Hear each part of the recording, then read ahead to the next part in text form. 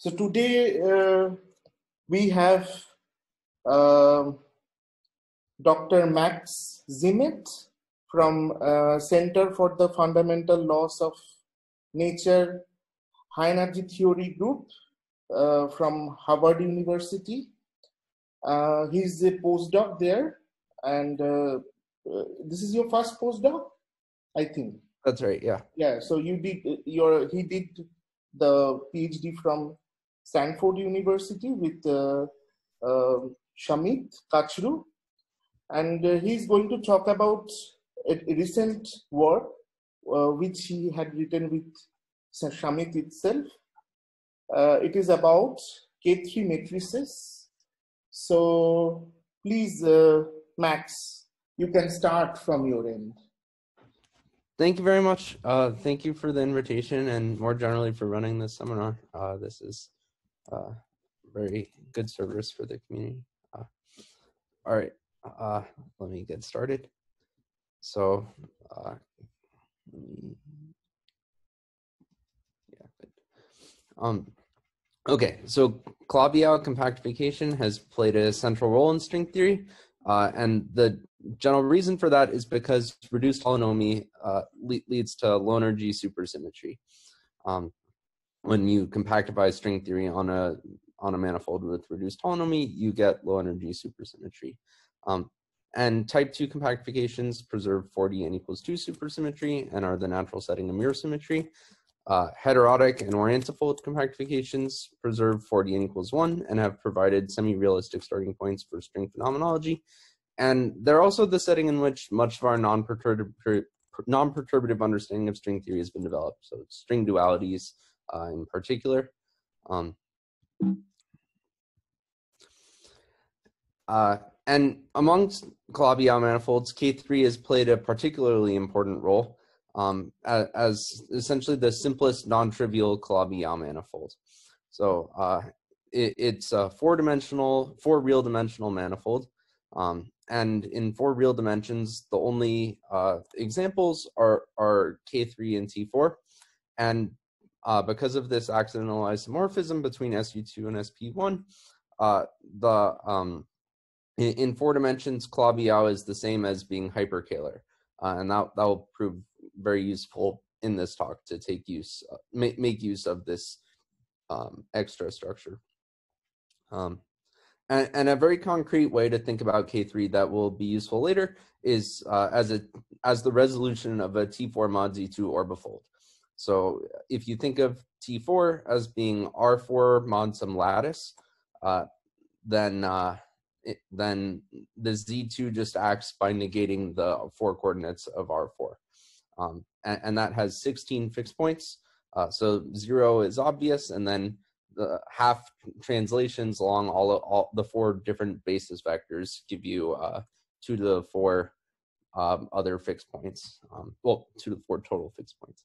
Uh, and and so those fixed points give you singularities in in the orbifolds, and, and then you resolve those uh, by by essentially gluing in an Eguchi-Hanson manifold, and, and, that gives you a smooth K3 surface. Uh, since K3 is hyperkähler, it preserves even more supersymmetry th than uh, a typical Calabi-Yau threefold. And so what I mean by that is uh, K3 times T2 has n equals 4 supersymmetry.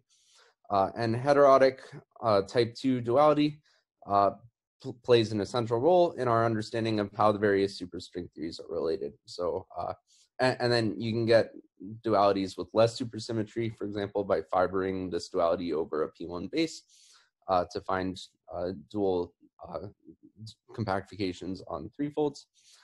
and, and this is the earliest, the the setting for the earliest example of black hole microstate counting in string theory by Strominger and Vafa. So uh, K3 has played a very central role in, in, uh, in, string theory is the point of these slides. And remarkably, all of this was achieved without an explicit form of the metric, which is uh, sort of funny because the metric is the main defining data of the string, string compactification. Um, the the you know this fact that you're solution of the Einstein equations is a very important aspect of Calabi-Yau manifolds. Um, and indeed, no smooth, compact, non-toroidal, Ricci flat Calabi-Yau metric is known. So Ricci flat just being solution of vacuum Einstein equations. And why might this matter to a string theorist? Well, supposedly the uh, way you define a perturbative string vacuum is you start from a CFT, such as a nonlinear sigma model with this action. Uh, this is one of the first things that we see in, in uh, string theory courses. But in reality, since we don't have, have the metric, this formulation is rather useless.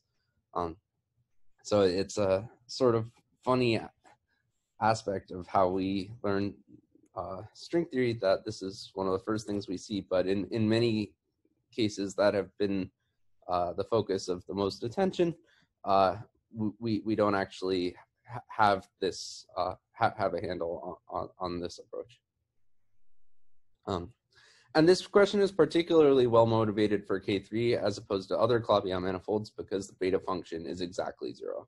Uh, and, and, as an ex example of our ignorance, even for K3, which is you know very well studied uh, and the one of the simplest uh, Calabi-Yau manifolds, the the worldsheet partition function is not known at almost all points in moduli space. So, you know, we, we can compute indices at nice points in moduli space, and those are the same everywhere, like the elliptic genus, but the partition function itself is, is almost nowhere known. Uh, so I'm going to describe to you in this talk uh, explicit, an explicit construction of K3 metrics um, based on recent work with these two well-dressed collaborators. Uh, and indeed, we have uh, not one, but two constructions. Um, one of them is completely explicit and one of them there there there are some missing in, integer uh, invariants. Um, so we we've reduced from from that point of view we've reduced the problem from a, a differential geometry one problem which is rather tricky to an algebraic geometry problem which is still uh, tricky but but um, within the realm of solvability. But uh, but because but um, rather than solving that algebraic geometry problem, I'm going to explain that you can actually uh, get extract those integer invariants from the other approach to constructing the metric instead. So uh, yeah, th this this uh, I'll I'll make clear what yeah, what so I mean by all of that. I want to ask people that since he going to the next section, if you have any question, please ask the speaker. Oh yeah, I, I should have said uh, please interrupt me. Uh, I whenever you have a question. Uh, because um, yeah, please ask. Uh, hi, hi. Uh, well, it's not really a question, it's more of a request. Uh, so, for example, I don't know about the other people in the audience, but I'm not an expert in string theory. So I have some, you know, uh, exposure to, for example, uh, the bosonic string. Uh, but I want to learn more. So I, I, was hoping maybe at some point you could be a, a little bit more uh, pedantic for you know uh, newcomers such as me in, in, going over the some of the technical issues. Sure. Uh, so you can ask if you have any question, please ask. Uh, like he uh, just given an overview on the subject in which he, he wants to comment on or give the talk. So if you if you have any question, please ask. He can discuss. Okay, I will do that. Yeah yeah, the details of perturbative string string string theory won't play an important role for the most part in this talk, but uh, I will, uh, you know, if the if uh, like like these big picture ideas about um, Calabi-Yau compactification, I can say a bit more about if if that would help. Yeah, that would definitely help okay, maybe the easiest way to think about this is from the low energy supergravity point of view. Um, it the the same same statements hold in that context where if you start with uh, uh, 10 dimensional supergravity theory uh, and, and, you can take consider a, a, solution of that that that theory uh, where space-time factorizes as four-dimensional Minkowski space times a compact six-dimensional Calabi-Yau manifold. Um, that that's uh, uh, below the the um, Kaluza-Klein scale, which is the typical curvature scale set by the uh, of the compact dimensions. Then your theory is is effectively four-dimensional. And so this is a sort of paradigmatic way of producing um, theories of four-dimensional physics from, from 10-dimensional starting points. Uh, and, and uh, uh, so 10 dimensions is special because that's where perturbative, where, where uh, that, that, that's a natural starting point for perturbative string theory. Um, uh, right. No, I'm familiar with, you know, supergravity as the low energy limit of type 2b and then, you know, the compactification procedure. Yeah. Okay, good. So yeah, that that's uh, all I need from string theory so far. Uh, I'll, I'll try to um, carefully introduce anything I need, but uh, yeah, please ask questions. Yeah, so like the, when you right now go on, so you just uh, when you uh, mention something, you just uh, discuss it in a little bit detail because of the audience. Yeah. Okay, so uh, let me now begin with the uh, uh, discussion of the first of the two constructions. I'll call this the Coulomb branch construction for reasons that will become clear. Um, so the physical context for this construction is what's called a little string theory. So uh, let, let me introduce that. Um, this is uh, the, the starting point physically is what's called a heterotic small instanton five brane. So uh, heterotic string theory, let's, let's take SO32 for concreteness, uh, ha has a SO32 gauge group in 10 dimensions.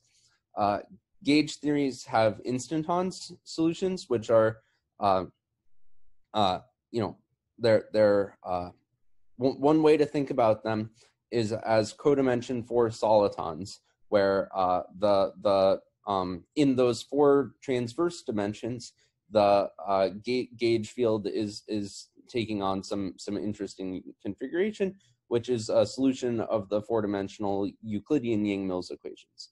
Um, so so uh, th that that's what I mean by an instanton.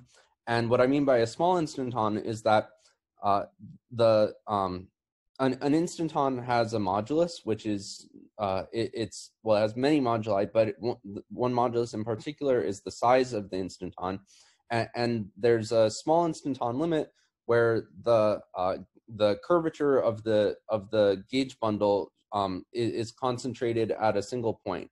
And, and so away from that point, it, it looks like a uh, like a trivial gauge field, but um, right at that point, it looks very singular. Uh, so this is a, a certain point at, at the origin of the moduli space of that instanton. And, and, uh, and, and so at, at that small instanton singularity from the from the supergravity point of view, this looks like a very singular configuration. But in string theory, that is a, a perfectly sensible configuration, and, and it it, it uh, behaves like a, a non-perturbative soliton, um, which is called a, a, a five brane. Um, it's called a five brane because again, it, it the uh, you, you should think about the the five brane as being localized in the six dimensions transverse to the small instanton. Um, and these have a decoupling limit. What I mean by that is if I take G string to zero so that the, um, the, the bulk of the theory is not interacting anymore, I've turned off gravity, for example, nevertheless, the, the five brane remains dynamical. And, and that sounds like a rather surprising statement. Um, but from there, there are a few different ways to understand this. One is that from the supergravity perspective, this soliton is extremely singular. And in particular, the, um, the description of this soliton in uh, supergravity doesn't just involve a, a divergent uh, uh, Yang-Mills connection. Um, it, it, also involves the a divergent dilaton. So no matter what value you set the vacuum expectation value of the dilaton at infinity, uh, near near the core of the of the small instanton, the uh, the uh, the local G string will be diverging. And so you, you can set G string to zero at infinity if you'd like, but the theory will still remain interacting at the origin. Um, there are other ways to understand this. Another one is uh, uh, that the um, the at, at, low energies, the, the world volume of an SO32 small instanton five brane is described by an SU2 gauge theory. uh, in six dimensions, and the gauge coupling of that uh, gauge theory is simply set by the the string scale, um, but no no powers of G string. So it, it makes sense that the theory would remain interacting even in the G string to zero. Uh, that that is, in contrast with D-brane gauge theories where G string does show up. Um, it is not a quantum field theory. Uh, uh, for example, it has T-duality, so there's no unique stress energy tensor because you know stress energy tensors tell you how you respond to changes in your background geometry. So if you don't have a unique background geometry, uh, then there's not a unique stress energy tensor. Okay, so we're gonna be interested in compactifying this small instanton five brane uh, and, and, studying the moduli space of that five brane. So uh, the there's a very nice way to see this geometrically in via string dualities. Um, so let let's again for concreteness focus on the SO32 theory. Um, the two different heterotic five branes are T-dual after we compactify on a circle, and so for our purposes, the two different heterotic five branes will play will be equally good. Um, so so let's just focus on this one for concreteness. Um, so strong weak duality takes this SO32 heterotic theory uh, to type 1, and the heterotic 5 brane becomes a D5 brane in type 1 string theory. And now to study the moduli space of the theory on T2, uh, a, a, nice uh, trick is to use T-duality twice to replace a D5 brane by a D3 brane so that the, the brane is transverse to all of the compact geometry. We say it's probing the compact geometry. And, and the reason for that is, so here, here's the T2, um, which at, at a generic point in moduli space is resolved. Uh, sorry, so after we do T-duality twice, the T2 becomes T2 mod Z2 because of the way uh, T-duality works with orientifolds. Um, remember type 1 has uh, O9 plane, so now there's an O7 plane uh, after we use T-duality twice. Um, so, uh, so, so we have uh, uh, type 2b orientifold on T2 mod Z2, and we have now a D3 brane transverse to the T2 mod Z2. So this means that the moduli space of the D3 brane will be T2 mod Z2 because, uh, you know, just the D3 brane has scalars in it in its world volume, which tell you where on the in the transverse geometry you are, and, and those uh, parameterize the moduli space of the D3 brane. Um, so so string theory has geometrized the moduli space. Uh, string, string dualities have geometrized the moduli space of the D brane.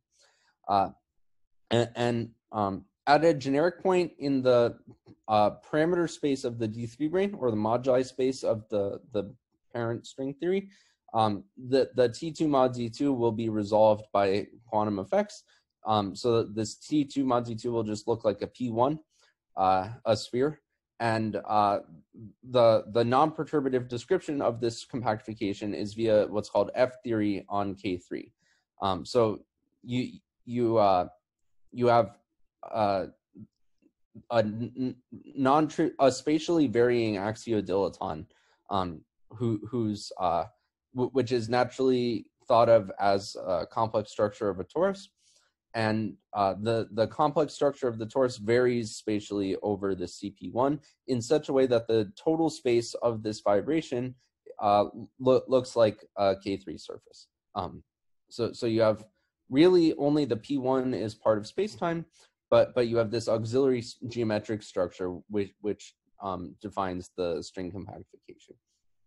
And uh, an essential aspect of this this elliptic fibration is that there are generically 24 singular fibers where the, the torus um, that is generically smooth uh, looks singular. It, it, pinches off in some way. And, uh, physically, those singular fibers look like seven branes. And, and uh, D3 brane near one of those seven branes gets some extra light uh, matter coming from strings stretching between the D3 brane and the D7 brane. So, so you, you you naturally can think of a D3 brane as probing these seven branes. Um, and uh, the the seven branes are very heavy. So from from the D3, so in, in the little string theory limit, they're not dynamical, but they provide uh, global symmetries, for example, uh, for the D3 brane. Um, uh, yeah. And uh, we'll, we'll be interested in very um, special limits in this parameter space where the seven branes clump up into stacks. And so the, the global symmetry will be enhanced. Um, so Max, why you are uh, saying that this is a strong weak duality? Uh, yeah, because the a weakly coupled heterotic string theory gets mapped to a strongly coupled type one theory. Oh, okay. Um, Okay, so now we can repeat the same steps for uh, studying the theory compactified on a three torus rather than a two torus. So we use, uh, again, strong weak duality to get to a D5 brane. Um, now it's wrapping T3. And then we use T duality three times to replace the D5 brane by a D2 brane. Uh, and, and, so naively, you would say that the moduli space is T3 mod Z2, uh, but but there's an extra um, circle, uh, an, an, extra dimension, which is provided by the M theory circle. And, and so uh, it's actually T4 mod Z2. Um, and again, at generic points in the parameter space, it, that T4 mod Z2 orbifold is resolved to a smooth K3 surface.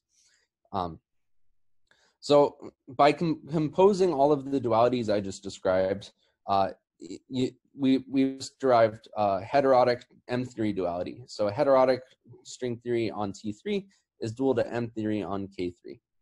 Um, and a small instanton five brane wrapping T3 is dual to an M2 brane probing K3. And, so um, you see that the moduli space of this heterotic five brane is a K3 surface. Um, and specifically the Coulomb branch of the heterotic five brane is uh, is the K3 surface. Um, and uh, so, so what are the um, parameters of the little string theory? Well, they're just the moduli of the parent heterotic string theory. Um, the, these scalar fields in the heterotic string theory are not dynamical because of the the uh, decoupling limit that we took. So, so they're just fixed constants. Um, they're parameters of the little string theory. Uh, and, and, so because via this duality, it's clear that the um, moduli space of heterotic string theory on T3 is the exact same as just the data of a Ricci flat metric on K3. Uh, the parameter space of, of the heterotic string theory on T3 is simply equal to the um, moduli space of uh, Ricci flat metrics on K3. Uh, so with the caveat, let, us say moduli space of unit volume uh, Ricci flat metrics on K3 because the G the um, the string coupling is not a parameter of the little string theory because we took that to zero. And similarly, uh, the gauge symmetry in spacetime descends to global symmetry of the little string theory um, because the gauge fields, just like the scalars of the parent string theory are not dynamical, the gauge fields of the parent string theory are also not dynamical. Okay, so our strategy is now going to be to study compactification of the four-dimensional theory. So we're gonna. So, um, excuse me. Uh, please ask. Please ask. Uh, sorry. Go ahead. Yeah, please ask. Okay. Um, um, I'm just want to make sure that here the heterotic string is, it, doesn't matter is our um, SO 32 or, or E8 times E8, right? That's right, because after you compactify on a single circle, they're T-dual, so they're the same theory. Okay, thanks. Okay, so our strategy now is going to be to study compactification of the four-dimensional theory on a further circle. Uh, and this further circle will be taken to have radius capital R, and R will be much larger than all of the other length scales in the problem. So uh, this circle will be much bigger than these two. Um, so the R goes to infinity limit uh, is this limit of this picture that we just described. Uh, um, and in particular, the metric on this K3 surface is singular at these 24 points. So you do, so so we have a very nice explicit um, metric, which is uh, provided in this reference. Um, uh, but but it, it's not a smooth K3 metric because of those 24 singular fibers where, where the curvature diverges. so now we're going to study corrections to that singular metric um, away from infinite r. And the corrections away from this limit are determined by instantons in the um, little string theory compactified on, on this T3. And these instantons are obtained by, by taking the world lines of a 4D BPS particle and wrapping them around this circle. Um, and, uh, uh, so the action of such an instanton is given by the mass of the BPS particle um, times the, the radius. And, and so uh, the effects of these instantons are then um, are, are exponentially small away from the singular fibers because this mass is non-zero. At the singular fibers, you get some light BPS states, and so uh, the, this exponential suppression um, dies off and you get very large corrections to the metric near the singular fibers, which is good because, as I said, the metric was singular there. So uh, at large R, oh, whoops, away from the singular fibers, the metric will not be corrected significantly, but uh, near the singular fibers, you'll get some interesting changes. Um, okay, so th this is a very nice heuristic picture, uh, but but it's uh, very difficult to make progress. Um, actually, first of all, even getting the counts of the numbers of these instantons is hard.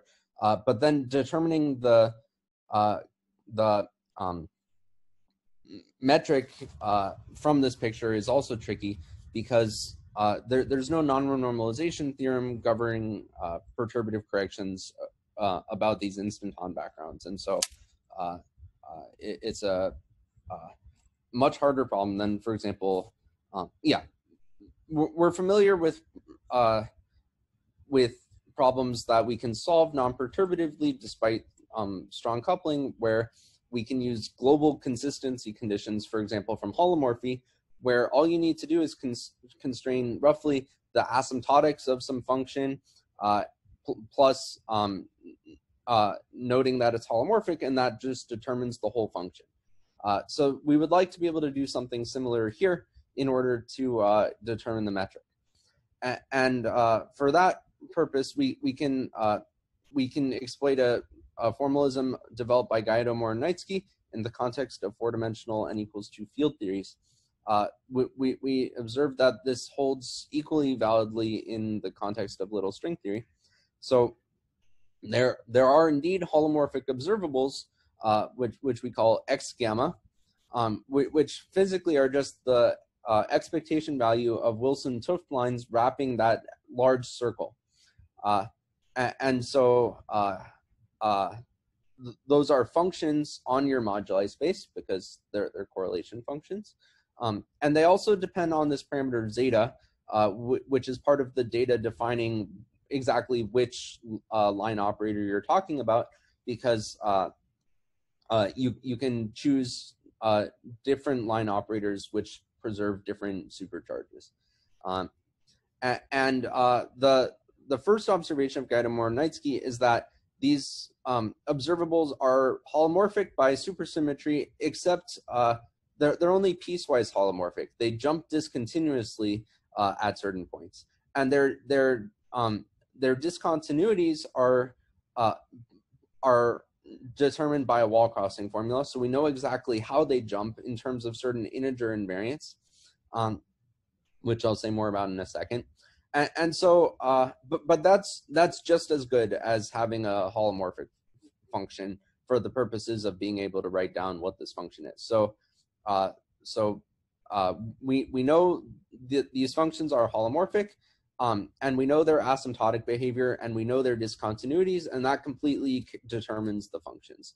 Um, and we can write down, uh, the, the way it does that is you can write down this integral equation um, which, which, these functions satisfy, um, which, which, forces them to jump uh, in, in these certain ways.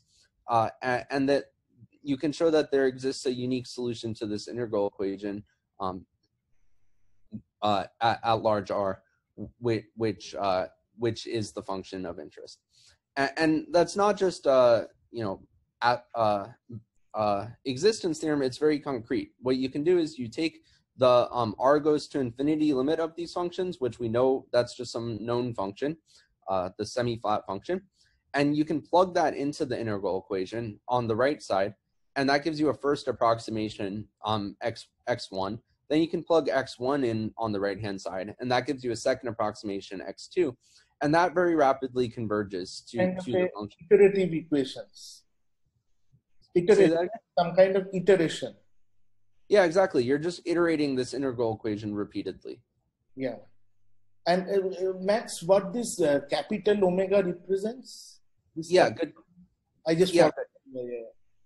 So physically, uh, the, these are the um, BPS state counts, uh, specifically an index of the heterotic little string theory on T2.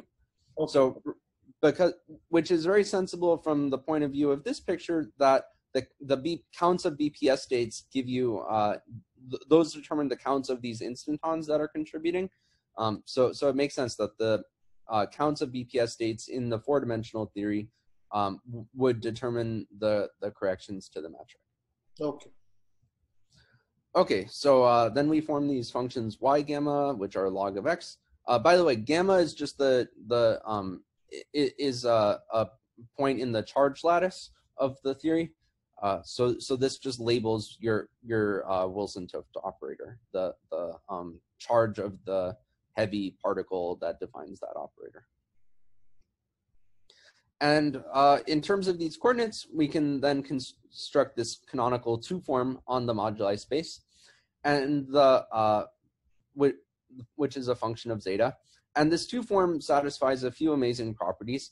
Um, one is that despite the fact that it's constructed out of these jumping discontinuous functions, this two form is actually smooth. Uh, furthermore, these functions are in general an infinite Laurent series in uh, uh, this zeta coordinate, uh, but nevertheless, um, the the the Laurent series is very finite in just these three terms. Um, and uh, lastly, just just like these functions were holomorphic, this is a holomorphic two form in complex structure zeta.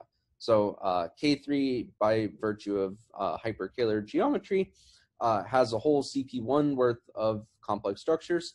Um, and, and the complex structure, uh, so so in complex structure zeta, this is a holomorphic two form. Um, and M and E here labeled the magnetic and electric charges of the heterotic little string theory. Um, okay, so uh, if we write omega plus at uh, n minus in terms of these uh, uh, real two forms, omega i and omega j, there should be an i here. This would be omega i plus or minus i omega j. Uh, then, uh, so we have omega i, omega j, omega k. Those provide a triplet of Kähler forms um, in, in the in the uh, for K three, and, and then just uh, via the um, magic of hyperkähler geometry. Uh, once you know those three Kähler forms, then you just do matrix multiplication and you get the metric.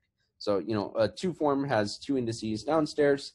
Uh, you can invert a Kähler form to get a, met, a matrix with two indices upstairs and just do matrix multiplication, and that gives you a metric with two indices downstairs. Uh, so, I so have a the- question. Yeah. Um, so if you look at the K3 surface as an elliptic fibration, um, is the elliptic fiber holomorphic in which complex structure? So the elliptic fibers are holomorphic in the complex structure where the base is also holomorphic. Um, So, Or- so IJ, you have IJK. Is any particular uh, complex structure that is Yeah, but the- yeah, but that's convention dependent. Um, you would have to. Yeah. What's your convention? Uh, Does it, play any role? Omega k is the um, canonical complex structure in our conventions. Canonical complex structure in what? Sorry, I couldn't In, hear. in our conventions, Oh, okay. Okay, got it. Thanks. no problem. Yeah, so in the semi-flat limit, uh, the you have an elliptic fibration in complex structure k. Okay, thanks. and um, so yeah so the the summary of this slide is that sort of going backwards the um, magic of hyperkähler geometry gives you this structure uh, and uh, uh, the magic of physics gives you um, the, the tells you that we can actually write down these functions very explicitly. Um, in, in turn, and so the the only thing that we need now is in order to write make this metric fully explicit is these counts of um, these integers omega, um, which are functions of your charge lattice. I should comment a bit on this uh, this extra dependence. Um, a here is a coordinate on the four-dimensional Coulomb branch, so the CP1 base of K3. Um, and, and, the dependence on A is uh, sort of weak um, because these these integers, because it's an index, uh, it they're generally constant, but they can um, jump discontinuously at certain walls of marginal stability. And, and so uh, so we you, you really have a bunch of piecewise discontinuous um, lists of integers uh, as a function of A. Um, so so the the name of the game is to de determine these these integers, and that that determines uh, K3 surface K K3 metrics. Um, one nice fact uh, is that if you determine these integers at any point in the um, Coulomb branch, then via the wall crossing formula, uh, that that determines the, these BPS state counts everywhere, in principle at least. Um, okay, so uh, at large R, these X gammas take a universal form, the, um, the semi-flat form. Uh, and then there are exponentially suppressed corrections that result from 4D BPS states running around the circle. Um, and so now we just need the BPS index. And I said, sorry. And, and there's a very good approximation uh, at large R that you get just from iterating the integral equation once. Um, which is, I'll call this uh, omega inst um, uh, sub gamma. So you sum this over all gammas uh, multiplied by omega of gamma. And, and, that, that gives you the first correction to, uh, to, the, uh, to, to that holomorphic two form. Um, and uh, th this was derived originally um, in the 90s, just, just um, uh, you can study, determine these results just by looking at uh, U1 gauge theory with a single hypermultiplet. Uh, uh, yeah, so so that's all that's captured in in this equation is is the one instanton approximation. Um, it, will be nice to have in mind a geometric picture of what BPS states look like. Uh, so so if you recall the F theory picture, where we have a D3 brane probing uh, the P1 base of a K3 surface. So this is the D3 brane, and these are some seven branes uh, that uh, and BPS states in this picture correspond to web these string webs um, where uh, they uh, you know they look like GW. So this problem is particularly nice to study at points in the um, in the moduli space of the big string theory or parameter space of the little string theory with uh, constant tau. So tau, remember, is the complex structure, it, it, the, the coupling constant of the type 2b string theory, which is varying over the CP1. Um, and the reason for that is that the base in, in the, that case is flat. So, so we just have a combinatorial flat surface problem. You know, you have uh, uh, T2 mod Z2, for, for example, uh, and you just have these string webs winding around and branching on T2 mod Z2. Now it's still a very hard combinatorial flat surface problem, but but it's uh, it's still a particularly nice limit of this problem. So so we'll fo focus on this limit where T4 uh, the um whoops this should be K3 K the uh, T4 that we're orbifolding by Z2 uh, factors as T2 fiber times T2 base um, and, and so uh, a nice, from the F theory point of view, you should think of this as a T2F fibration over this T2 mod Z2. Uh, and there are four fixed points in the Z2 fixed points in this T2B. Um, uh, and uh, locally near those fixed points, the physics looks like SU2 and F equals 4. Um, so by that I mean the four-dimensional SU2 and F equals 4 conformal field theory. Um, so, and what I mean locally is, you know, if you sit in moduli space of the little string theory near one of these fixed points and then take the low energy limit, then you'll reduce that four-dimensional superconformal field theory. Uh, and this uh, little string theory has a spin 8 to the four global symmetry, which just, you know, you get four copies of the global symmetry of this uh, these field theories. Um, and I told you before that the global symmetry uh, comes from the sta stacks of seven branes. So that shouldn't be surprising because you have uh, four seven brane stacks, um, each of which contributes a spin 8 global symmetry. Uh, so any questions about uh, that before I move on to a new new subject? Sorry, could you remind me uh, the meaning of radius r in terms of K3 surface? Yeah, uh, geometrically, R determines the ratio of the um, area of the fibers to the area of the base. So oh, okay. uh, large R is the F theory limit where the fibers squish down to zero size. Uh huh. I see. So, but once you take the uh, the, the uh, dual side, like a, a heterogon T3, it's a, some radius on circle, right? Exactly. Okay. Okay. Got it. Thanks. Okay. So uh, so so now we we want uh, a way to extract these integers, in, um, these BPS state counts, in order to make this prescription completely explicit. And to do that, we're going to move on to a, a dual uh, description of the K3 metric, um, uh, where K3 arises as a Higgs branch rather than a Coulomb branch. And, and uh, this this is uh, you know uh, uh, much nicer because there are no quantum corrections to this problem. So we can just study classical, uh, the, the classical moduli space of, of this physical theory. So the theory we have in mind is a D2 brane probing a perturbative T2 T4 mod Z2 orbifold.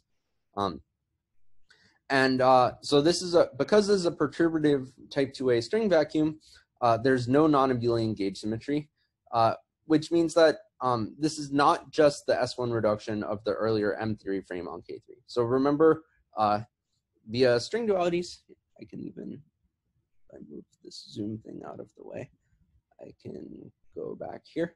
So uh, we had this duality frame where the heterotic little string theory compactified on T3 was dual to an M2 brane um, on K3, uh, or probing K3.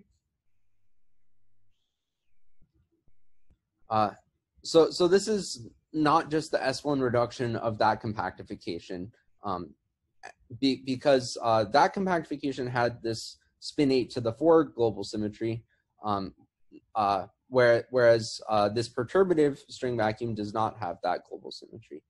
Um, and uh, it, the way that this this symmetry got broken is because uh, there, there's uh, B field, half a unit of B field um, localized on each of the, the collapsed two cycles of the T4 mod Z2 orbifold. Um, and uh, so, so from this D2 brane point of view, that B field is responsible from, for breaking global symmetries.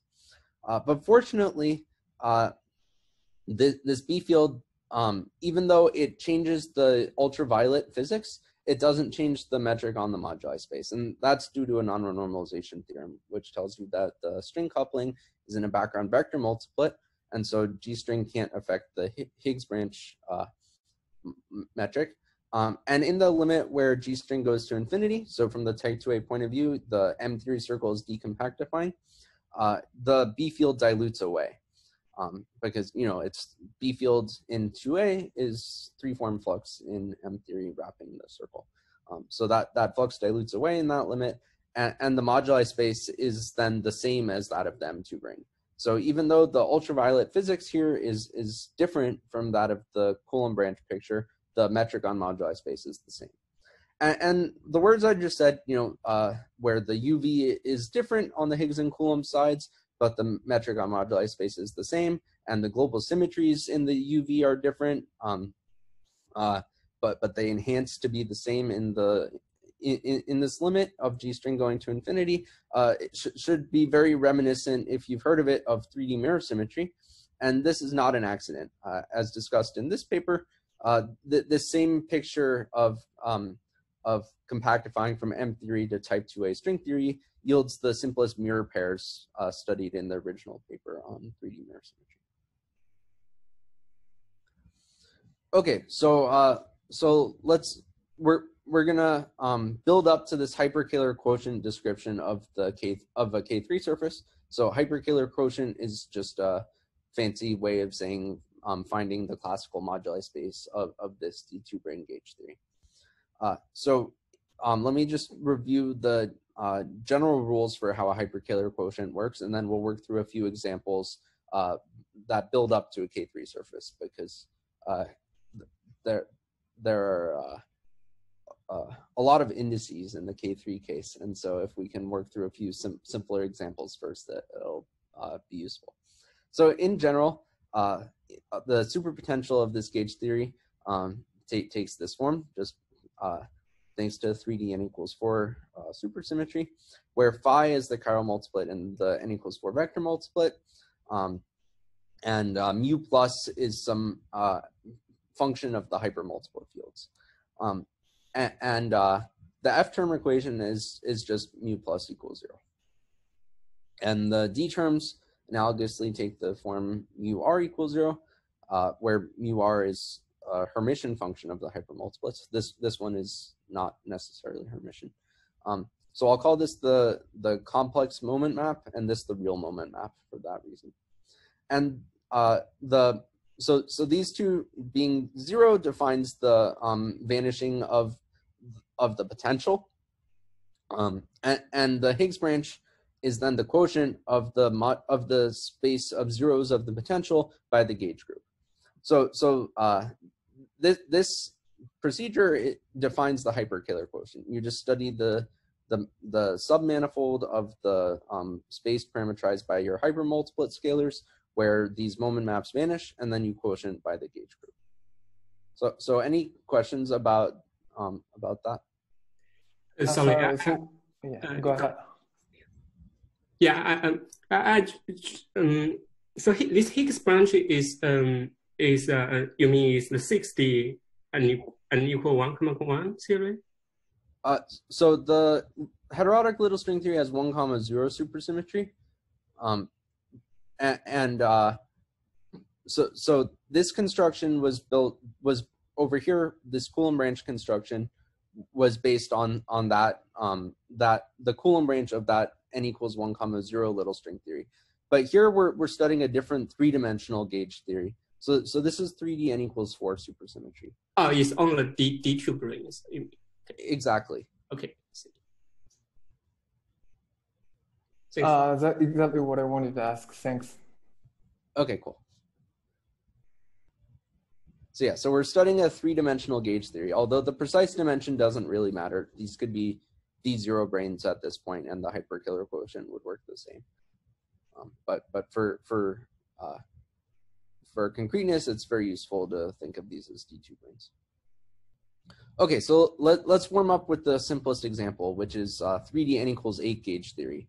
Um, uh, so from the n equals 4 point of view, this is just an uh, adjoint hypermultiplet plus the um, the vector multiplet, and uh, the adjoint hypermultiplet we'll we'll think of it as consisting of these chiral multiplets u and v, uh, and the um, superpotential. This this is familiar uh, superpotential and maximally supersymmetric gauge theories, um, and the d terms are take this one.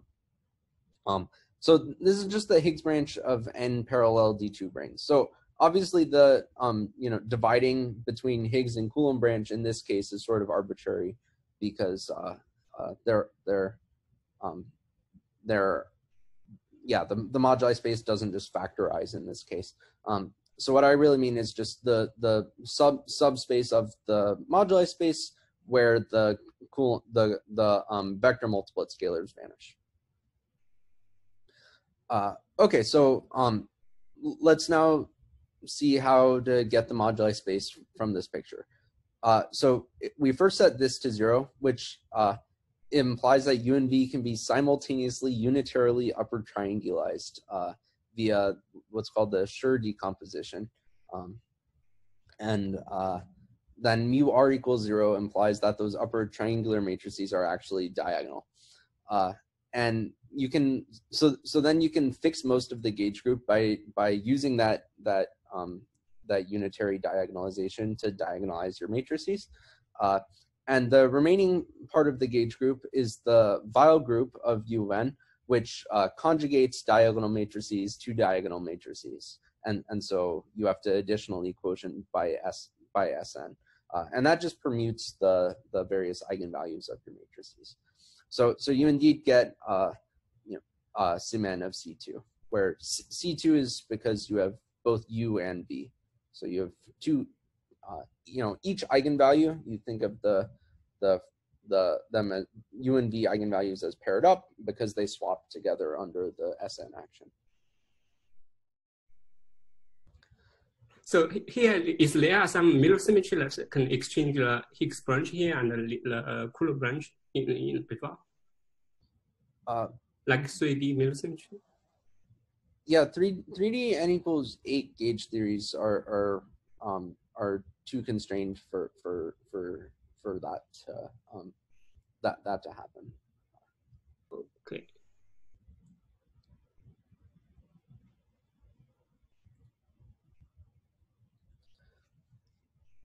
Okay. Uh, so now, so now let's move on to a sl slightly more difficult example, but only slightly. So we'll now study uh, D2 brane probing this orbifold. Um, so, so the prescription provided by Douglas and Moore is that you uh, start on the covering space, the C2 covering space, with the D2 brane and its image brane. Uh, so, so the starting point is a U of two gauge theory. The, the, you know, the the n equals 2 case from this slide. Um, we just have two parallel D2 branes probing C2. Uh, and then we impose some orbifold projections on the on the fields in the world volume. So, so the starting point is the n equals 2 theory from the last slide. And then we require uh, uh, uh our u and v to take to take the, this form. So the minus sign is is uh, easy to understand. That's just because uh, the U and V fields get negated by the Z2 orbifold action. The sigma Z's are because, um, okay, it, think of this first of all as being sigma X. Uh, then it's just permuting the, um, the adjoint indices associated to the two D2 branes. So, so again, that that's very sensible that there should be a sigma X here. Uh, it, it, you via a change of basis, you can swap sigma x with sigma z, and that proves computationally more useful. So, uh, so we we put sigma z's here, but you if you wanted, you could do this with sigma x. Uh, here, G is an arbitrary element of the gauge group. So, uh, uh, ga- ga- the gauge group is the sub subgroup of U of two, uh, which satisfies this condition. Um, and there's no minus sign here because you know the gauge fields don't get negated by the, um, the Z2 action. Okay, so the general solution of these constraints take the, takes these forms. So U is uh, just some off-diagonal matrix, so is V, and G is a diagonal matrix. Uh, okay, and and notice that e e this e to the i theta act, acts tri trivially on U and V because G acts by conjugation, and so really we just have U1 gauge theory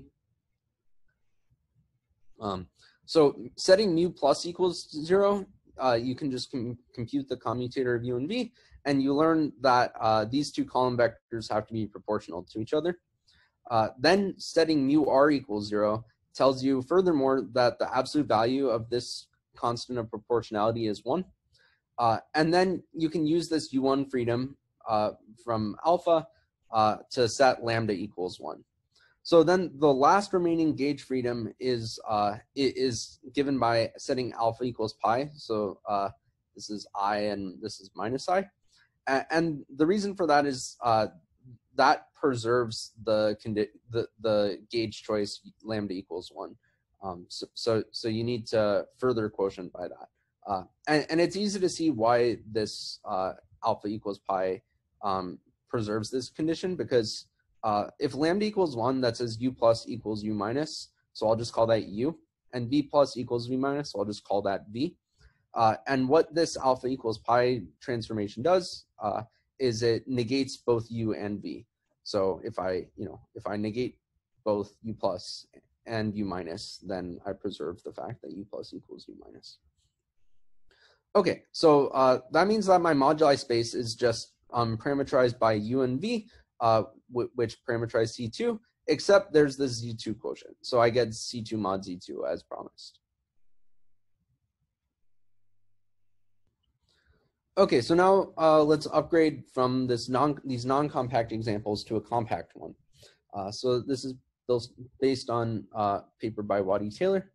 Uh, we so as I said at the very beginning, it's useful to think of T4 as uh, R4 model lattice um, where lambda is some four-dimensional lattice embedded in R4. Uh, so um, the starting point is now a 3D n equals 8 u of k infinity to the 4 gauge theory. So uh, so k is the number of uh, of D2 branes probing T4, and then we have infinity to the 4 image um, branes, one, one for each translate um, under this lambda action. Uh, so, you know, just like here, we had uh, a starting, our starting point was a U of two theory because we had a D2 brane and its Z2 image brane. Here, we just have the whole Z to the four image set, set of image branes. Um, so, so in one fundamental domain of this lambda action, we'll just have K D2 branes, but then we have uh, infinity to the four fundamental domains. Um, so, so we get this funny gauge theory with an infinite dimensional gauge group. Um, and as usual, chirals uh, in some 3D n equals 8 gauge theory are just um, matrices. Uh, uh, so, so I'll, I'll write the indices for this k infinity to the 4. Um, I'll, I'll, split it as in this form where uh, i and j run from 1 to k, and m and n are uh, points in this lattice. They're, they're lattice vectors. Um, and, and we'll leave the i and j indices implicit, so umn denotes a k by k matrix.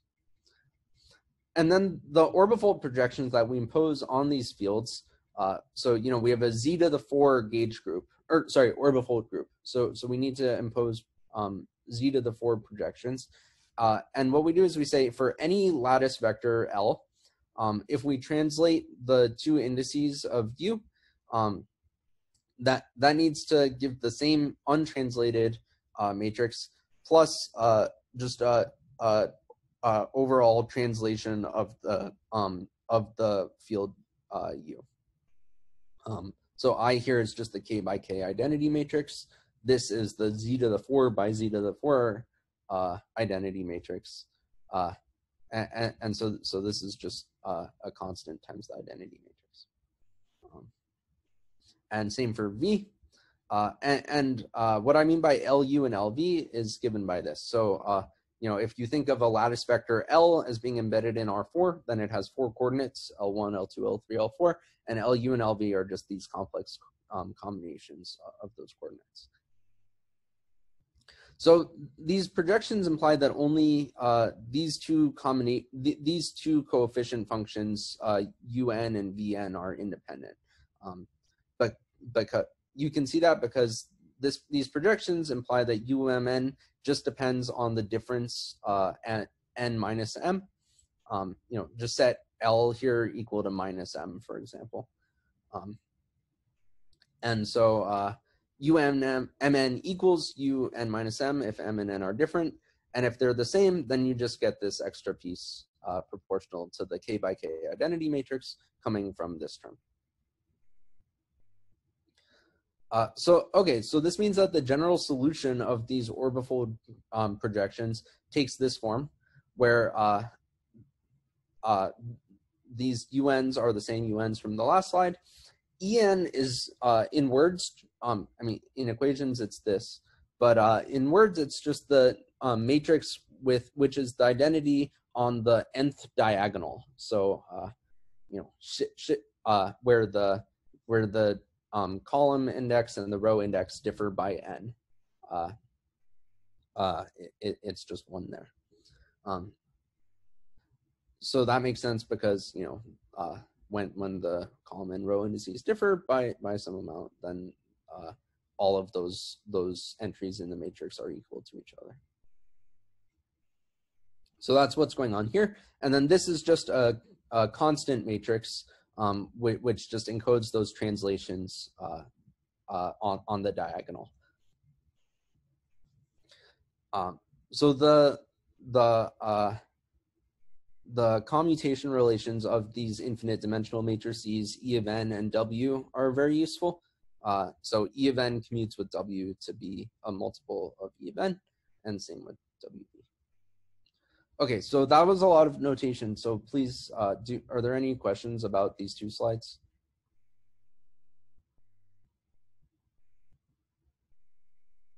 Okay, great.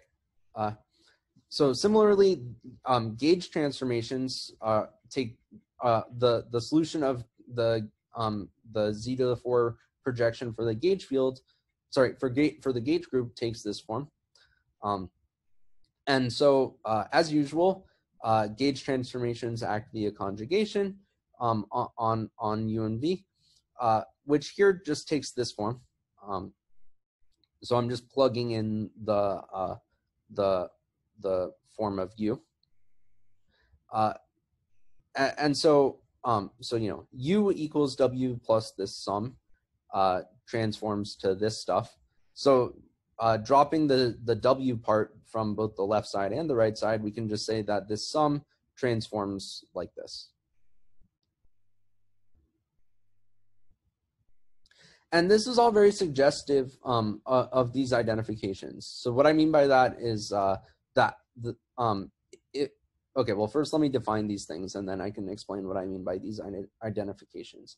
Uh, so uh, consider uh, uh, coordinate y valued in the dual torus. So the the dual torus is uh, is the quotient of R4 by the dual lattice, where the dual lattice is just the set of lattice vectors in R4, which whose dot product with any um, vector in our original lattice is an integer multiple of 2 pi.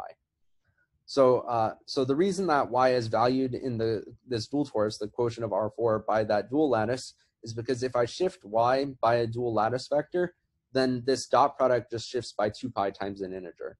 And, and so uh, this exponential is constant.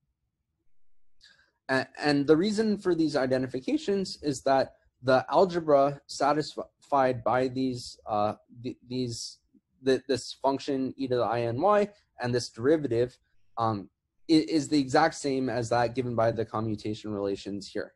So, you know, if, if you compute the commutator of an exponential with the derivative, just using the product rule, you, you get this.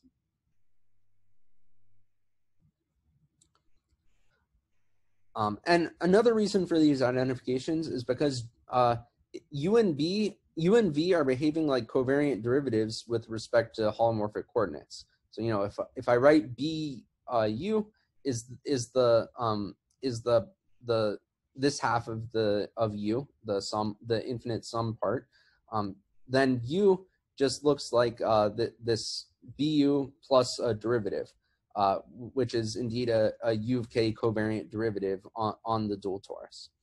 Uh, and similarly, uh, uh, the way u transforms under a gauge transformation um, just looks like the transformation of a gauge field, of a, of a UK gauge field uh, under a U of K gauge transformation. So, uh, you know, uh, gauge fields are not really valued in the adjoint representation because of this this extra term which, involves the derivative of the gauge transformation. And that's exactly uh, picked up by, by this rule for how U, U transforms. Um, and, and this is this uh, picture of uh, fields living on the dual torus is not not an accident. It's a manifestation of T-duality uh, because KD2 branes uh, transverse to T4 map to KD6 branes wrapping T4, and U and V indeed become uh, uh the, the, the, these covariant derivatives. Um, and so uh, this makes it clear that the gauge group is the um, group of maps from T4 to U of K, just like in a normal gauge theory.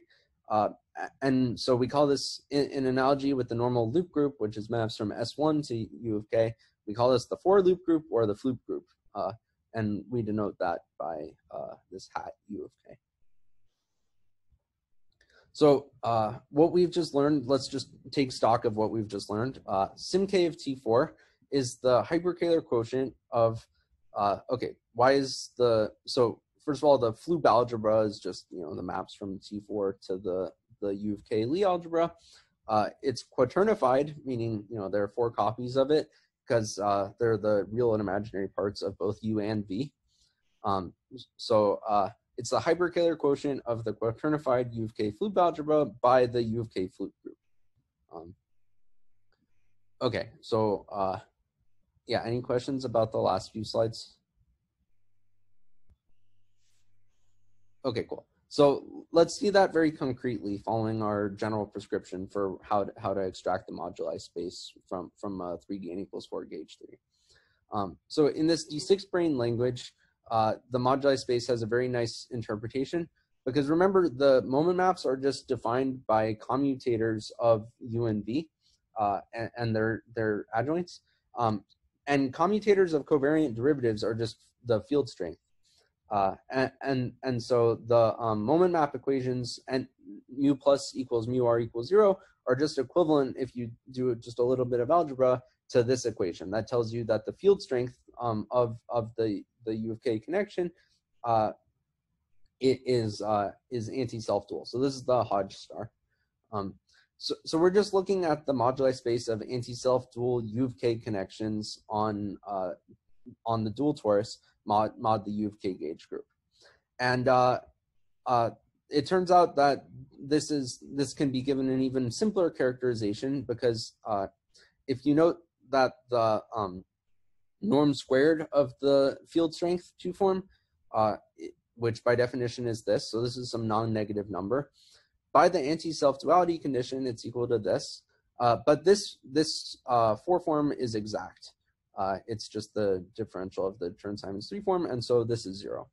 So so we're actually interested in the moduli space of flat U of K connections or Wilson lines on the dual torus. Um, and that's indeed SimK T4. And we knew that we had to get the moduli space of Wilson lines on the dual torus because that that that is the moduli space of the D6 brane gauge theory. Um, okay, so how do we? Uh, so so it's first of all, let me just say it's physically sensible that we reduce to constant gauge fields. Um, so, uh, but because uh, the from the D6 brane point of view, the non-zero modes have Kaluza-Klein masses. Um, and the moduli space is compact because of large gauge transformation. So for example, uh, for k equals one, so we just have a U1 gauge theory in the D6 brane picture. Um, uh, uh, you know, if I conjugate um, my gauge field by uh, uh, x by a gauge transformation, which is just proportional to e to the i n theta, uh, then this this uh, uh, you know moving the exponential past this derivative um, just gives me a translation. So that, that compactifies the space parameterized by u by the u0 and v zero zero modes. Okay, so uh, any questions about how we obtain that moduli space SimK-T4 before I move on to K3?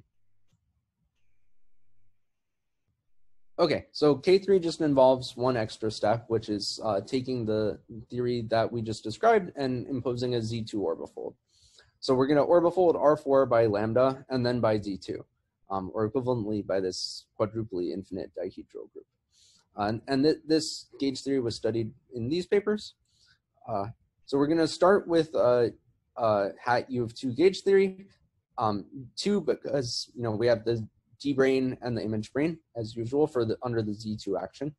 Uh, and then we're going to impose Z2 projections. So uh, it, it, shouldn't be shocking that the um, given our experience with the C2 mod Z2 case that the Z2 projections take this form.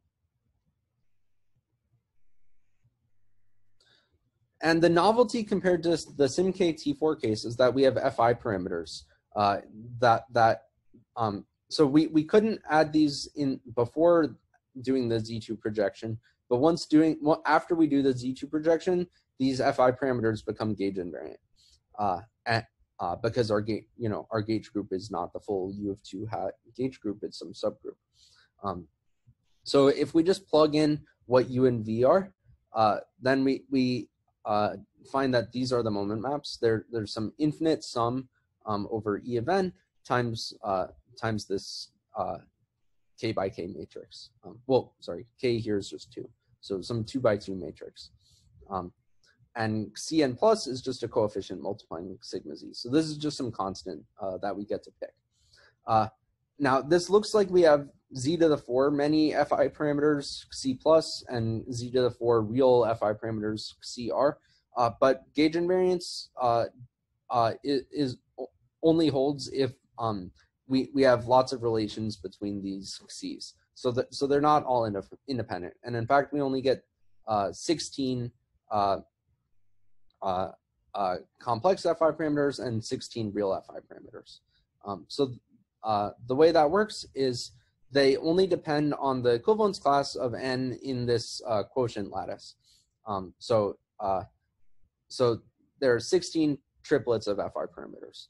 Um, and if you do the counting, you know, we have 16 triplets, plus we have the 10 original moduli of, uh, of the, um, of the choice of our metric on T4. Uh, uh, uh, and you can see that as 10 because, you know, you have the, you have a four by four symmetric real matrix. Uh, so that's 10. Um, so that gives you 58 parameters, which is exactly the dimension of the moduli space uh, of the, um, of Ricci flat metrics on K3.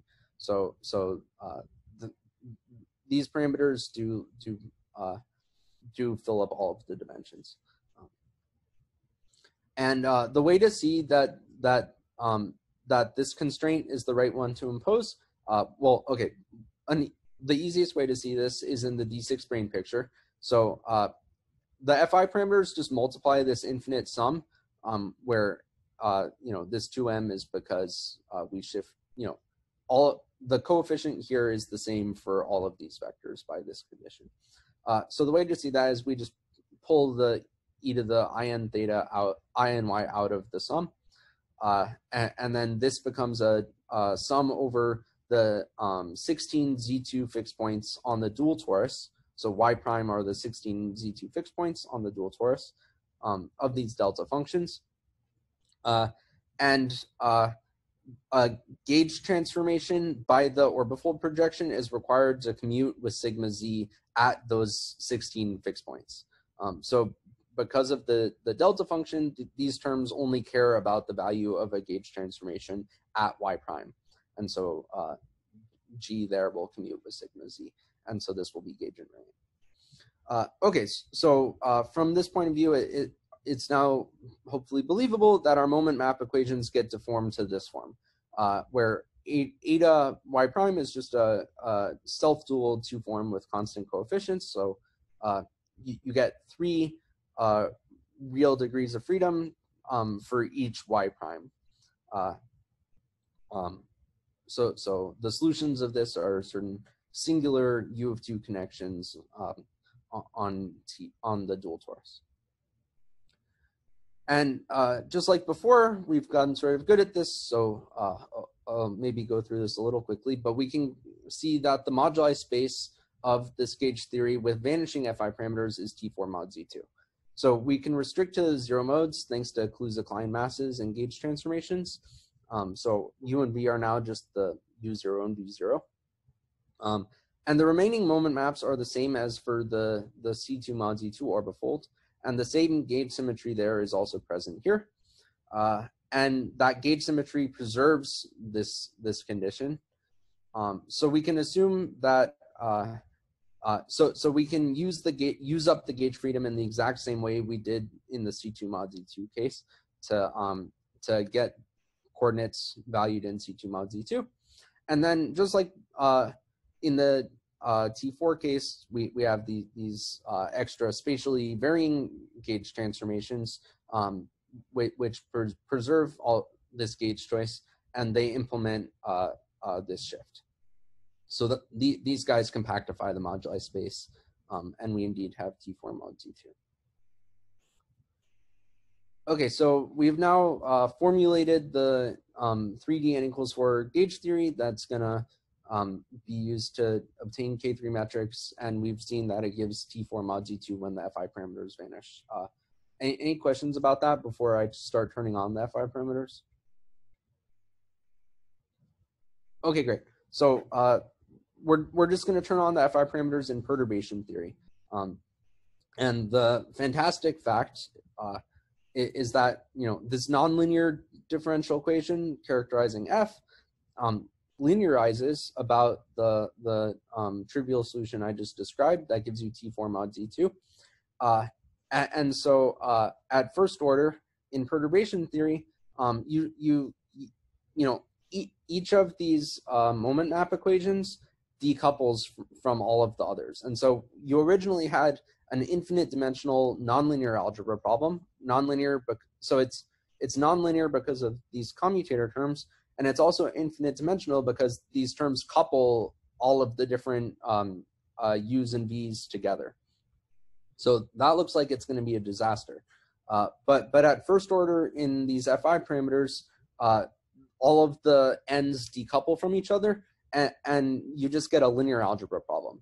So uh, schematically, uh, all of all of these equations just look like uh, some constant vector Cn uh, equals some uh, matrix Ln, which is a function of Q. Q here is uh, is the U and V, um, which, which are our coordinates on our moduli space. So those are the zero modes uh, of U and V.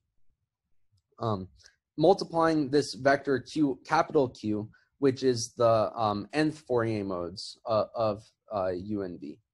So we, we just have some matrix equation for each n that character characterizes the um, the uh, functional dependence of the higher Fourier modes on the zero modes. Uh, so so very more abstractly, what we're defining is an embedding of K3 into this infinite dimensional flat space, um, uh, which is just parameterized by all of the Fourier modes. Um, and, and the general solution of this linear equation takes this form. Uh, so, so the reason that you can't just invert L is because L has a null space. And uh, physically, it's very sensible that L has a null space because uh, that's exactly the um, infinitesimal gauge transformations. Uh, so, uh, you know, th those will be annihilated, And yeah, if I make any infinitesimal gauge transformations here, those of course will give also give solutions. Um, and, and the null space of L exactly uh, corresponds with that, uh, that space of gauge, gauge freedom. Uh, so fine, so the most general solution takes this form where this is just any uh, gauge trans transformation. Uh, uh, and so gauge transformations just look like this. So we can just choose the gauge where this vanishes.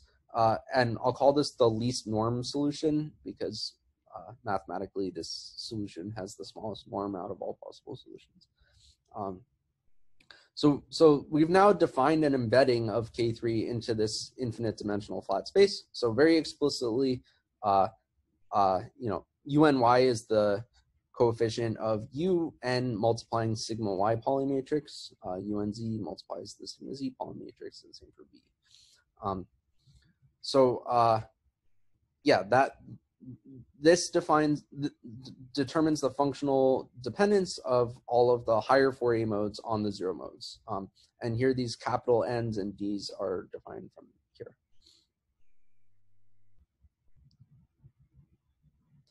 Okay, and then uh, you, you just take the Kähler forms on that infinite dimensional space, uh, you um, and you just uh, uh, pull them back from from the infinite dimensional space to K3. Uh, so concretely, you know, we have these functions um, that define the Fourier, higher Fourier modes as a function of the zero modes.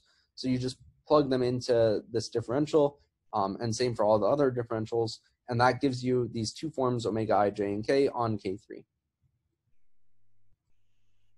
Um, so uh, if we do that for the at the orbifold level, so before turning on any FI parameters, we get these these results, which are just the flat omega plus and omega k uh, on, on, the flat orbifold.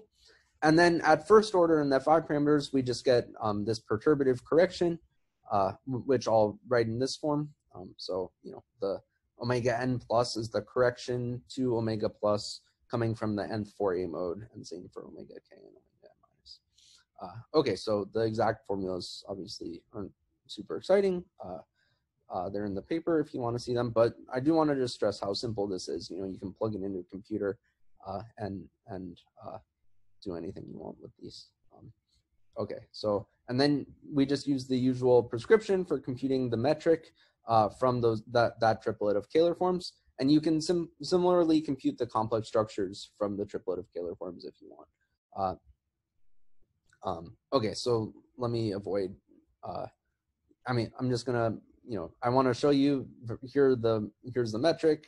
The formulas don't matter at all, which is why I even let it run off the side of the screen.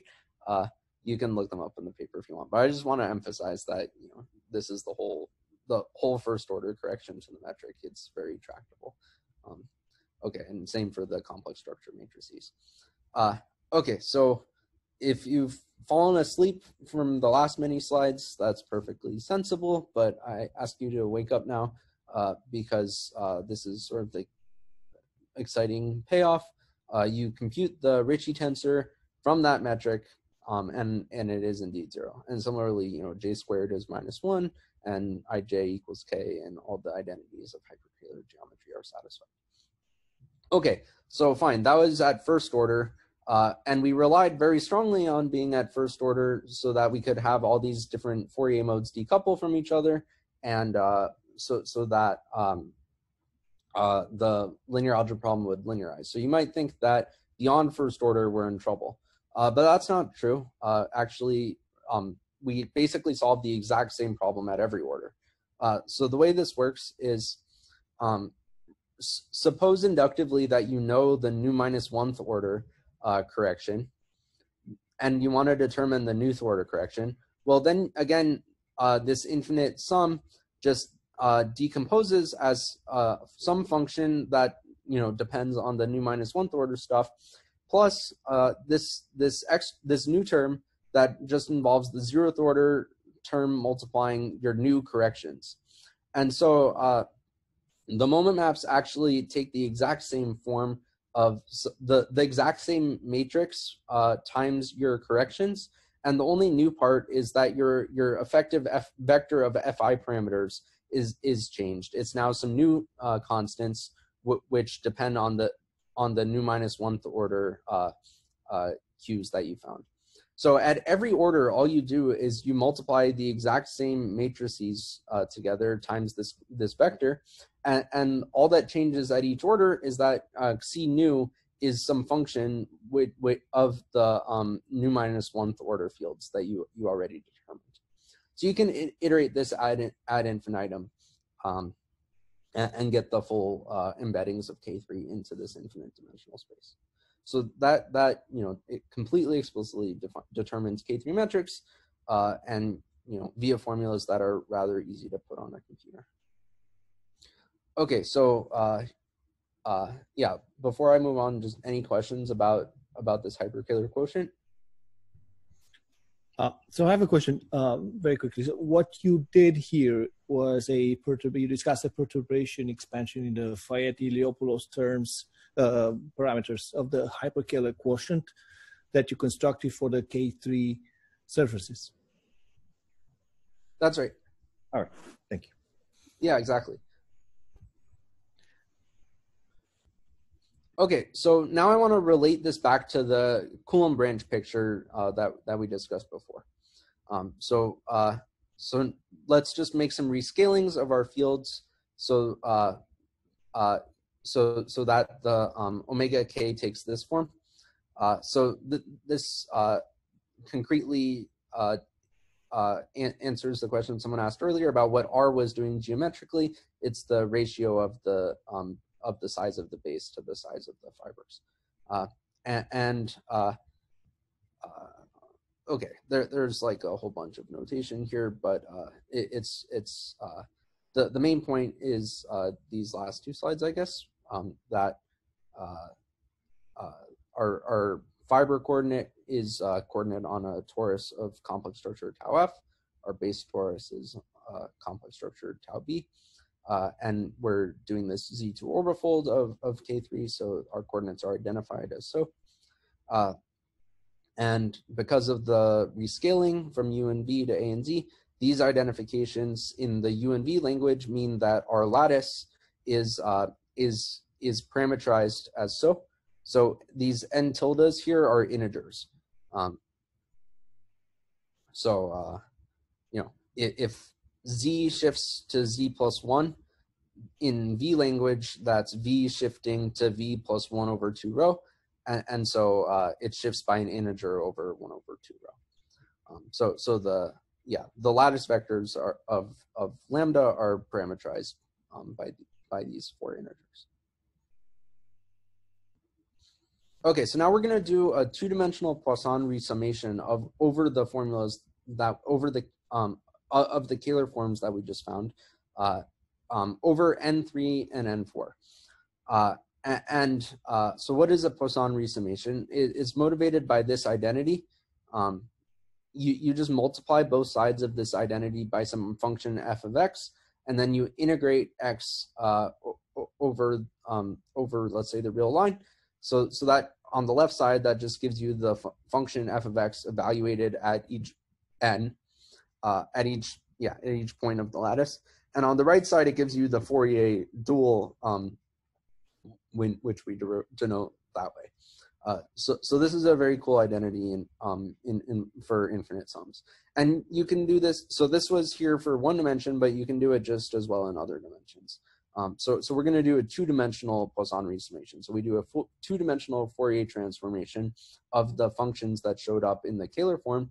Uh, uh, and uh, this is motivated by the geometric picture we're trying to make make contact with where the, the fibers are very small. Um, and we'll set C plus to zero for simplicity.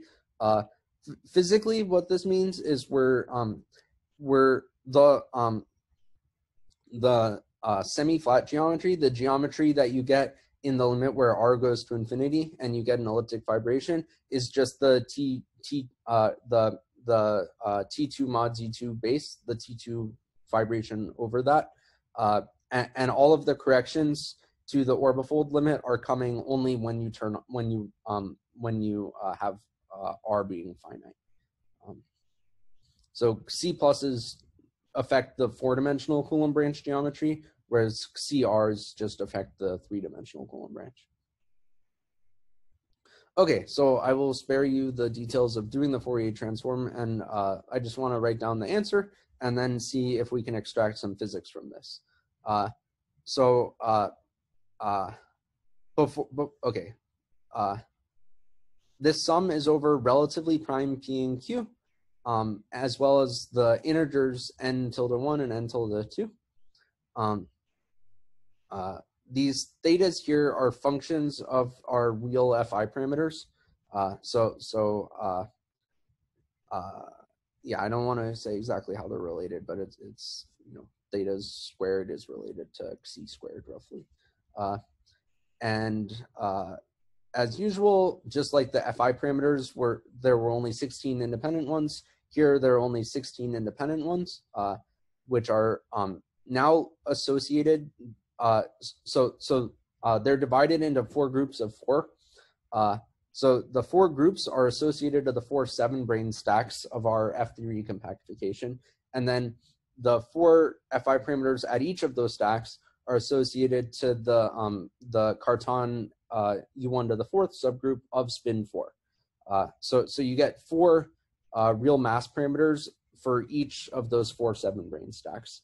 Um, and that, that's what these theta parameters are. Uh, and uh, yeah, so so this this uh, if, if we now compare with this formula for the first approximation coming from the Coulomb branch formula, formalism, um, uh, this looks very similar. And we can read off the BPS spectrum of the little string theory from, from by comparing those two formulas. So uh, this part def, def, defines a bunch of hypermultiplets. Um, with uh, with spin eight, um, which transform under spin eight representations. So here we see uh, weights of the vector representation of spin eight, um, because you know uh, two cosine of this is just the same as e to the i n theta um, plus e to the minus in theta, uh, and uh, and then there are four four different thetas labeled by j. So that's exactly the um, the weights of the vector representation plus minus one zero zero zero zero plus minus one zero zero. Um, and then similarly here you have the two spinor representations. Uh, and I didn't say exactly what these SJs are, but they're all just plus or minus ones. Um, you have an even number of S's or an uh, of pluses or an odd number of pluses, depending on whether P and Q are are uh, both odd or one of them is even. Um, so uh, that is exactly the BPS spectrum of the SU2 and F equals 4 uh, uh, uh, gauge theory. Um, you have this half hypermultiplet with gauge charge PQ for all relatively prime P and Q. Uh, in one of those three eight-dimensional representations of spin 8, depending on whether P and Q or both are odd. Uh, and, and then uh, you in addition have a vector multiplet with gauge charge P, 2P, 2Q um, in the singlet of spin 8, uh, and the BPS index of a vector multiplet is minus 2. Um, and if you plug into the general formulas, that data, that indeed gives you this minus 8 when n, n is even.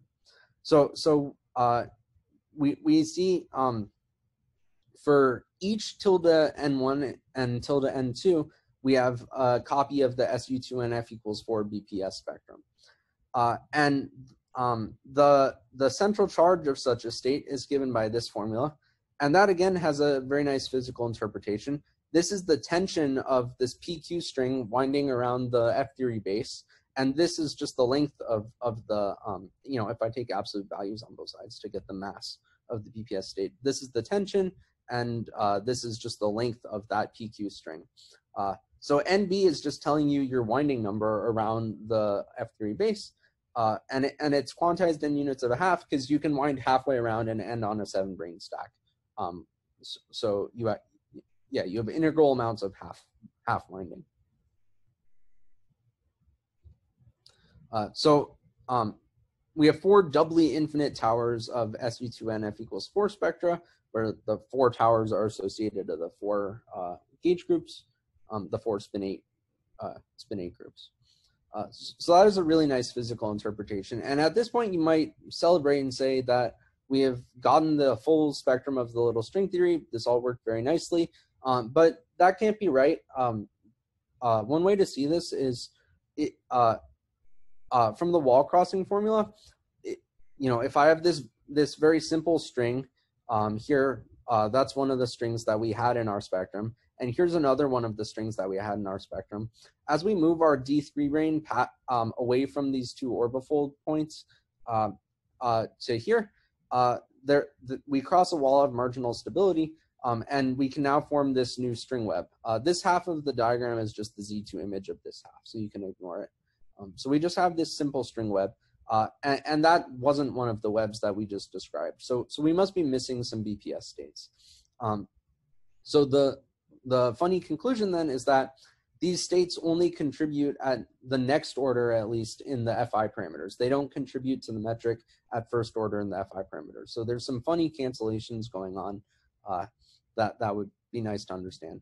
But we expect that we can get these BPS states um, uh, and, and hopefully all of the BPS states just by iterating this procedure at the next order in the FI parameters. Okay, so uh, in conclusion, a hyperkähler quotient yields these computationally useful, explicit, analytic expressions for K3 metrics. Uh, and they secretly, via Poisson resummation, encode the solution to a little string theory BPS state counting problem. So there are these piecewise constant lists of integers hiding inside of K3, and similarly weights of spin 8 representations.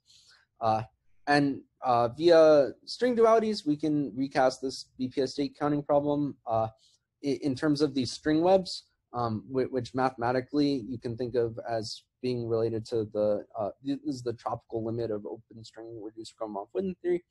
Uh, and this aligns geometrically very nicely with the SYZ construction of mirror manifolds, um, if you know what that is. Uh, so, so in addition to all of the above, the geometry of string webs is again uh, an ingredient in the in, in K3 metrics via the, you know, the central charge that showed up in those metrics. Uh, so by finding the full BPS spectrum, which we've not done yet, we'll complete the specification of this Coulomb branch construction, uh, and we intend to do so by iterating the Higgs branch procedure once more. Uh, there are a bunch of other approaches to studying the BPS spectrum of the little string theory. Uh, so I mentioned open string Gromov Witten theory, there's geometric engineering of the little string theory, a bunch of other approaches uh, physicists have developed for studying little string theories. And there are very neat connections with the maximally supersymmetric uh, one one little string theory that we describe in our paper, uh, and as well as open topological string theory. Um, so, um, yeah, there's this funny fact that the BPS spectrum of this maximally supersymmetric little string theory also defines uh, K3 metrics.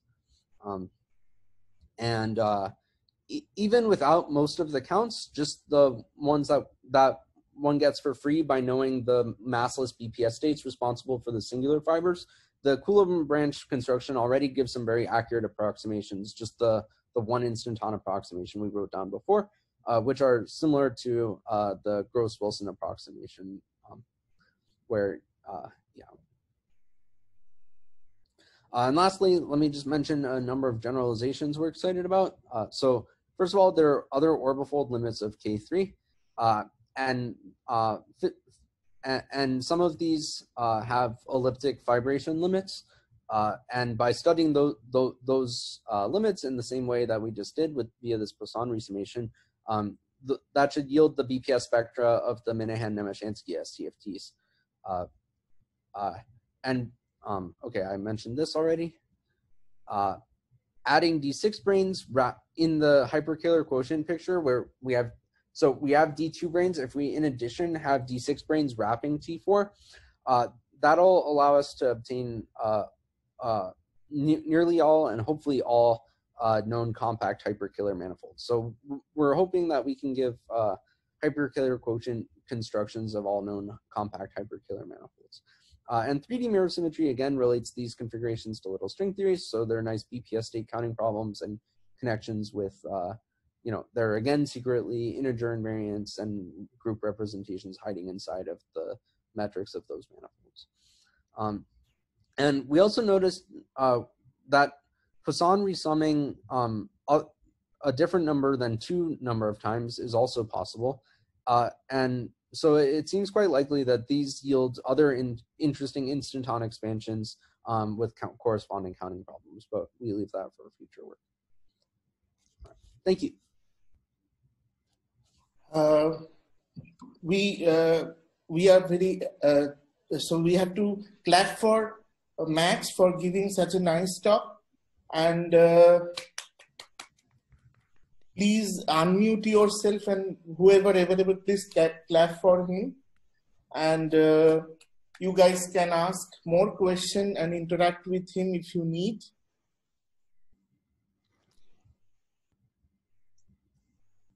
I have a question. Um, in the middle of the talk, you talk about the one half B flux of the K3 surface, the orbifold point on the K, K3 surface due to Aspinwall. Do you know like how to derive this one half B, B field flux? Um, so uh, is there some nice pedagogical way to understand this one uh, half B field flux at the orbifold point? Yeah, uh, I think. Uh, I mean, yeah, I've read the the Aspinwall's paper a number of times, but uh, for me, it's a kind of cryptic. Um, if there is some like a uh, easy way to understand it. So, uh, uh, physically, the intuition you should have is that near. Uh, so what what goes what is physically so singular about orbifolds is that um, yeah. perturbation theory breaks down because you you have uh, non-perturbative states coming from D D2 branes wrapping the collapsed two cycles, which give uh-huh. you uh, new massless particles which are non-perturbative, and so uh, uh, uh-huh. uh, you know the non-perturbative physics is affecting the the light spectrum um, uh-huh. and uh, so so it should be plausible then that B field will give those states mass because the B field threading the the D2 brane is, gonna gonna um, affect the the world volume of the D, 2 brane. Um, or, or- yeah, said another way, the cent- the central charge of the D2 brane depends both on the area of the two cycle as well as the Mhm. B field, um, threading it. Um, and so uh. So you can see that the gauge group at those points in moduli space with B field is is not going to be um, is it, you'll you'll still have an abelian gauge group uh, at those points in moduli space uh, even Uh-huh. yeah. I see. And also, so you just com I mean, uh, calculate. You, you have a way to c- compute this BPS spectra of this case K3 surface. Ah, sorry, M theory on K3. Can you relate this BPS spectra to some other uh, computation of the topological string on M theory on K3 times, say, whatever some T2 or something like a Klemm and company has been done lots of computation on K3 on the topological string on K3. yeah so so topological string via the um uh you know usual relations like donaldson thomas Gromov Witten Yeah, yeah. Umar Vafa, those are all equivalent. Uh, uh, that gives you the BPS state counts of the little string theory in um, compactified on S1, not T2. Uh, Oh, I see. um, so, so if you want to go to T2, then you need generalized Donaldson Thomas invariants, which vary as you move around in in uh, in the moduli space. Um, where, Uh-huh. whereas you know Gromov Witten invariants are just some number, some list of numbers. Um, you don't have wall crossing in five dimensions because the central charge is real. Uh-huh. Okay, thank you very much. It was very nice talk. Thank you. Thanks. Uh, if you guys have more questions, please ask, or otherwise, we have to uh, clap again for him. Uh, I have a question. I have another question actually. Okay, please ask. Please ask. Um, so i- i- is it a fair description of what you did? That what you did was to match the hyperkähler quotient construction of K3 with the Gaia-to-Gaitsky Moore um, wall cross wall crossing based description, Mhm. order by order. And so far, you've matched these two constructions in uh, to first order but you expect them to be to match to higher orders, right? So this is the plan that you're describing here. Exactly. I see. I see. Okay, thank you. No problem. Any more questions or comments?